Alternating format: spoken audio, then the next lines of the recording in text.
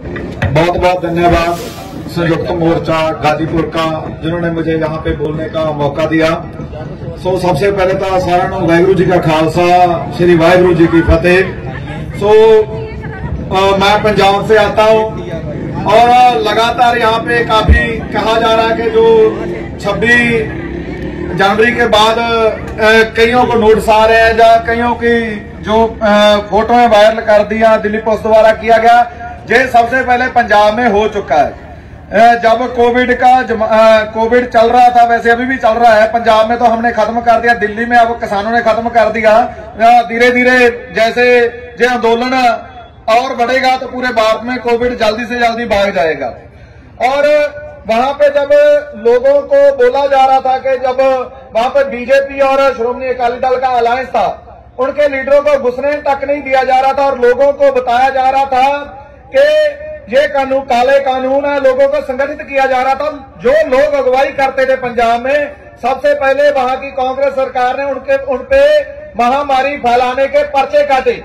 और वही सरकार, जब पंजाब के किसान वहाँ पे बीबा हरसिमरत कौर बादल के घर के आगे, और पटियाला में कैप्टन अमरिंदर सिंह जो वहाँ का मुख्यमंत्री है, उनके घर के आगे बैठ गए, और जब ये आंदोलन सड़कों, टोल प्लाजों पे पहुँच गया जब पता चला कि पूरा पंजाब एक तरफ़ हो गया और सरकार एक तरफ़ तो सबसे पहले वही पर्चे कैंसिल हुए। सो इनसे घबराने की कोई बात नहीं है। ये तो सभी को सर्टिफिकेट है, जो जिन जिन को नोटिस जा रहे हैं, इसका मतलब वो यहाँ पे आए हुए हैं। सो इनको एक सम्मान चिन्ह की तरह लीजिए।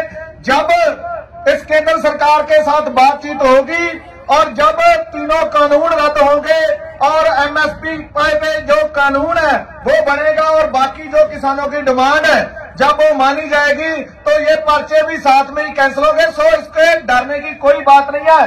और जो आंदोलनकारी होते हैं, जो आंदोलनकारी होते हैं, वो कभी सहूलतों के सहूलतों के लिए नहीं सोचते। यहाँ पे हम आए हैं, ठीक है बहुत कुछ हमें सहूलतें मिल रही हैं, लेकिन हमें भी एक दिन जेलों में जाना ही पड़ता है, क्योंकि देश को परिवर्तन लाने के लिए बहुत सी कुर्बानियाँ देनी पड़ती है, क्योंकि पंजाब और पूरे देश में ये आंदोलन पंजाब से उठ के अब पूरे देश में फैल चुका है। सरकार ने पहले इनको बोला कि ये खालिस्तानी है, फिर बोल दिया ये अर्बन नक्सली है, फिर बोल दिया कि एक स्टेट का है। अब बोल रहे हैं ये पंजाब और हरियाणा में, हरियाणा का है। अब दो तीन दिन के बाद बोलने लगेंगे कि ये पंजाब, हरियाणा और यूपी का है। और जब तक ये आंदोलन धीरे धीरे ये सरकार खुद मानेगी कि ये आंदोलन देश के अन्नदाताओं का है और ये जन आंदोलन है। आप देखिए इस जो बीजेपी सरकार है, आरएसएस है, जिन्होंने नफरत की राजनीति इस देश में शुरू की और कोई भी दूसरी पार्टी के सामने खड़ नहीं सकती थी।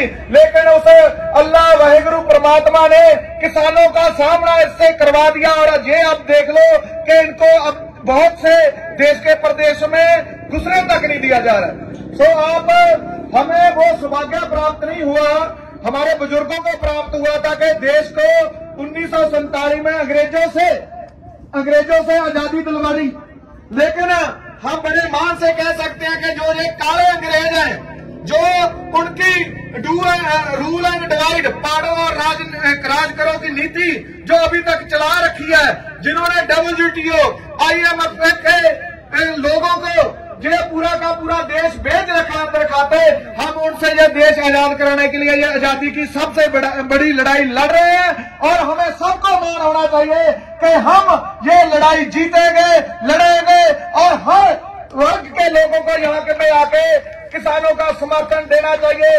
मैं यूपी और पूरे भारत के, क्योंकि यहाँ पे यूपी और उत्तराखंड के लोग आए हुए हैं, मुझे पता है कि मैं भी यूपी और उत्तराखंड पिछले वीक गया था और देखा कि वहाँ पे पुलिस गाड़ियों के नंबर रोड कर रही थी जब हम नवरीत की जो यात्रा लेके यहाँ पे आ रहे आए थे। तो लगातार इतने दबाव के बावजूद आप यहाँ पे आए हो। लेकिन वही दरख्त, वही बागड़ का पेड़ कभी गमलों में नहीं होता।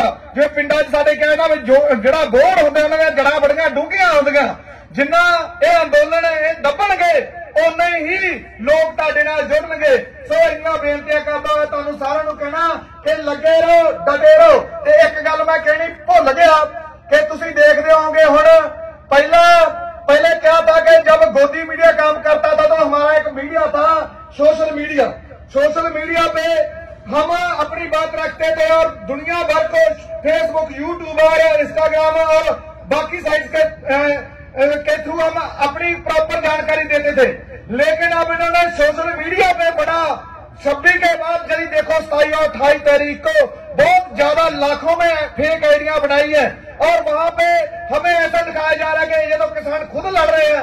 पंजाबी से पंजाबी लड़ रहा है, हरियाणवी से हरियाणवी लड़ रहा है, और यूपी वाला यूपी वाले से लड़ रहा है किसान किसान से लड़ रहा है। लेकिन वो सभी फेक हैं, और उन पर विश्वास मत कीजिए, क्योंकि गवर्नमेंट जो आप, आप सोचें जो अरबों रुपए के चैनलों को खरीद सकते हैं वो फेसबुक पे यदि दो लाख आईडी बनाने के लिए कोई दस पंद्रह हज़ार लड़के बिठा दे तो कोई उनके लिए बड़ी बात नहीं है। सो ऐसे मत सोचो यदि कोई फेसबुक पे नेगेटिव कमेंट आते हैं आप आप खुद सोच सकते हो। मैं इस वीडियो भी बन रही है इसके ज़रिए कहना चाहता हूँ कि आप देखो पंजाब हरियाणा यूपी और पूरे भारत में सभी गाँवों से अब बिल्कुल एक संगठित होकर लोग चल रहे हैं। गाँव में वहाँ पे बोला जा रहा है कि भाई, जो नहीं जाएगा, उसको जुर्माना किया जाएगा।